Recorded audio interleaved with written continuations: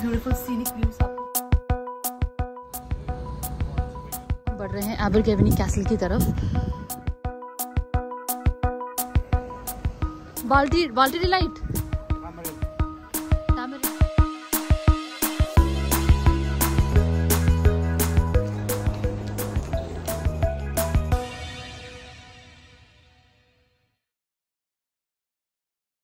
Hello दोस्तों welcome back to another new blog of Pahadi London तो दोस्तों, आज हम जा रहे हैं एबर गेविनी तो ये है हमारा अपार्टमेंट जहाँ हम स्टे कर रहे हैं फॉर थ्री नाइट्स और अंकित जी भी दिखाएँगे नीचे से ऊपर तक, थोड़ा सा व्यू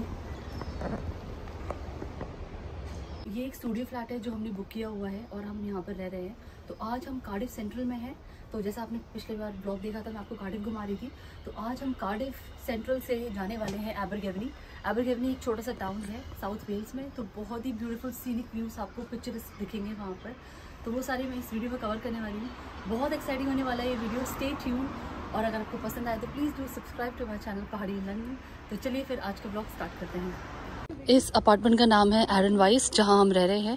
बिल्कुल बेसिक अपार्टमेंट है और चीप रेट में हमें मिल गए थे क्योंकि हम लोग बैंक हॉलिडे अगस्त एंड जब बच्चों की छुट्टियाँ ख़त्म हो गई हैं, उसके बाद हमने ये बुक किया है। तो वैसे कार्डिफ भी बहुत ही रीजनेबल यू नो टाउन है। You can come here stay here because ये एक सेंट्रल सिटी है और सेंट्रल सिटी में आपको सारी फैसिलिटीज़ अवेलेबल हो जाती है और यहाँ से आप पूरा साउथ वेल्स घूम सकते हैं कार्डिफ सिटी से। तो चलिए फिर आज का दिन शुरू करते हैं और मेरे साथ हैं मम्मी जो व्लॉगिंग कर रही हैं, अंकित जी जो स्टेशन का रास्ता ढूंढ रहे हैं और पापा साथ में। तो आज मम्मी है पूरे इंडियन अटायर में इंग्लैंड के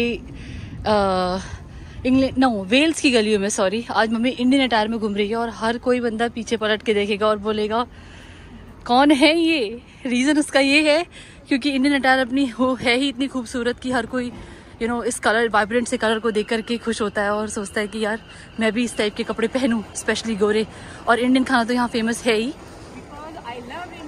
ये भारत माता की। और ऊपर आप देख सकते हैं यहाँ पर इंग्लैंड का भी झंडा लगा है और वेल्स का भी झंडा लगा हुआ है क्योंकि ये वेल्स है तो which is a part of UK जैसे कि मैंने आपको पहले भी बताया तो बहुत ही अच्छा जी डब्ल्यू आर ने जो है कार्डिफ सेंट्रल का स्टेशन बना रखा है यहाँ पर।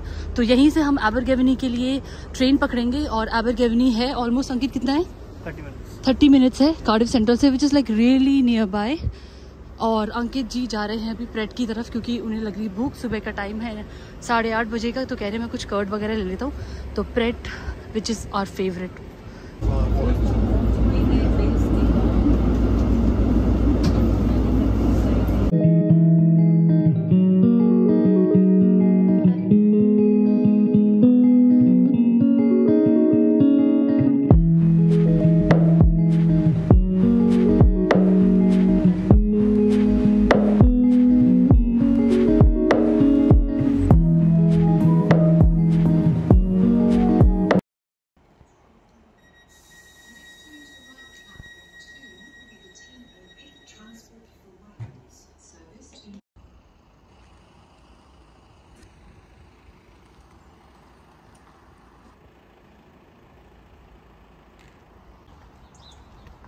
दोस्तों, हम पहुँच चुके हैं एबर गेवनी जैसा कि आप सामने सीन देख सकते हैं कि हॉल लगा हुआ है पहाड़ के ऊपर।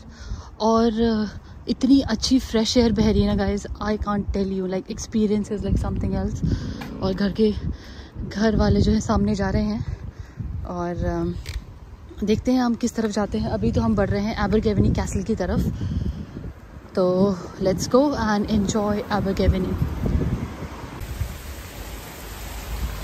ये बह रही है पानी की धारा और इस तरफ़ से पूरा निकल के आई थिंक पूरा जाएगी, उस साइड बह रही है। मैं बिल्कुल इस जगह को ना फिगर आउट नहीं कर पा रही हूँ गाइस क्योंकि अभी जो है बहुत ज़्यादा न्यू हूँ मैं इस जगह में। बट धीरे धीरे लेट्स सी एक्सप्लोर करते हैं। तो अभी हम बढ़ रहे हैं एवर गेवनी कैसल की तरफ़। आई डोंट नो अगर ये कैसल है कि कौन सा है बट या लेट्स गो एंड एक्सप्लोर और दोस्तों आज का जो मौसम है वो दिखा रहा था सनी बट क्लाउडी हो रखा है बिल्कुल और uh, काफ़ी ठंडी हवा चल रही है और आप देख सकते हैं मैंने जैकेट भी डाल रखी है। तो यहाँ पर गर्मियों में भी आपको ना एक नॉर्मल जैकेट तो चाहिए ही चाहिए। उसके बाद अगर विंटर्स जैसे भी आएँगी तो यहाँ बर्फ़ पड़ेगी और बहुत ही ठंडा हो जाता है यहाँ पर और यहाँ के घर ना पूरे बिल्कुल तो मैंशंस है। इट्स नॉट नॉर्मल हाउस और बिल्कुल अच्छे ब्रिक्स के बने हुए हैं क्योंकि यहाँ पर काफ़ी हवा वगैरह चलती है और यू नो बर्फ़ वगैरह पड़ती है। ये है सामने एबरगेवनी होटल आई थिंक ये काफ़ी फ़ेमस होगा यहाँ का. इसका नाम ही एबरगेवनी रखा हुआ है. और आसपास आप देख सकते हैं कि बिल्कुल हिली एरियाज़ हैं यहाँ पे. और सामने जो है, ये देखिए टॉप माउंटेन व्यू यहाँ की लैंग्वेज देखिए आप. शॉर्ट एंड लॉन्ग स्टे को लिखा है. एर होस्तियाद बिहार एंड हेयर तो ये वेल्च लैंग्वेज है गाइज़ और पापा को कुछ अपने रेस्टोरेंट देख चुके हैं, देसी. पहले मुझे बंगाली रेस्टोरेंट दिखाया है कौन सा है बंगाली रेस्टोरेंट पापा? बाल्टी बाल्टी डिलाइट टामरिन अच्छा टामरिन वही है अपना इंडियन कुजीन है। हाँ सही है।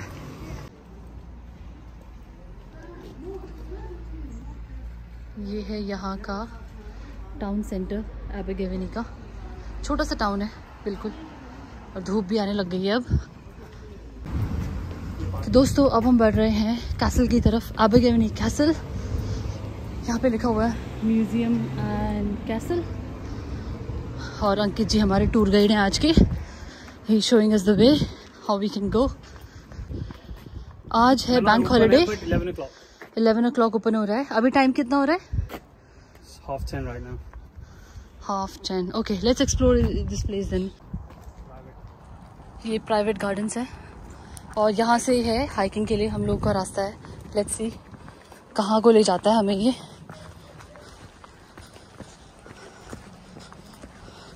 काफ़ी जंगल डेंस जंगल है। पीछे मत रह जाना मम्मी बाघ आएगा।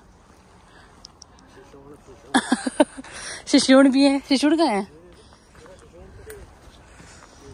हाँ। ये है वो देखो पूरा बिच्छू घास है हमारे यहाँ उत्तराखंड में फ़ेमस है बिच्छू घास। इसको अगर लग जाए एक बारी तो इंसान जो है सुधर जाता है। जितने भी बिगड़े हुए लोग हैं सबको बिच्छू घास लगा के सुधर जाते हैं। ये जो है पहाड़ी पेरेंट्स का क्या है पापा? कि एक हथियार है अपने बच्चों को सीधा करने के लिए।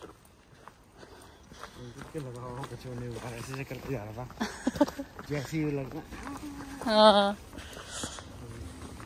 तो ये है एंट्रेंस कैसल की तरफ़ कैसल एंड मेडोज और बहुत ही प्यारा व्यू है गाइस लविंग इट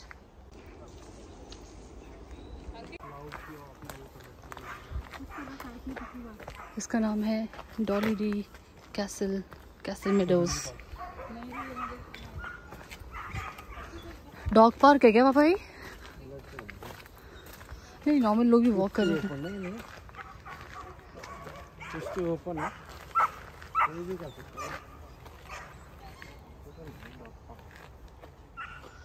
पार्क है ये वॉक पार्क। वॉक।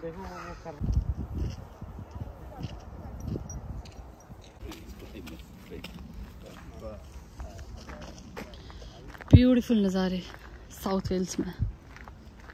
दोस्तों, मैं बस यही कहूँगी कि ये रिटायर होने के लिए ना, बहुत ही अच्छी जगह है इंग्लैंड में। नॉट इंग्लैंड सॉरी वेल्स में।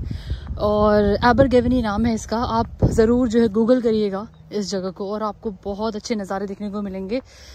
फ़ोटोज़ में ही ना मुझे ये देख के इतना अच्छा लगा था। तो सामने तो इसकी ब्यूटी ना अलग ही देखते ही बनती है। तो I am just loving it Abergavenny इस साइड आ जाओ, बहुत अच्छा है।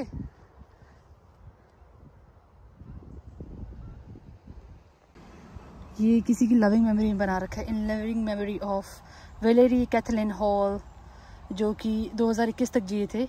Always in our thought forever in hearts miss by family and friends यही है दोस्तों, जीवन का सार, कि कुछ टाइम बाद हमें निकल ही जाना है। तो जब तक हैं, तब तक जो है, मज़ा ले लेते हैं। तो ये हमारे गाँव वासी आ चुके हैं सामने से ट्रैकिंग करते हुए। ये एंट्रेंस बहुत ही प्यारा है।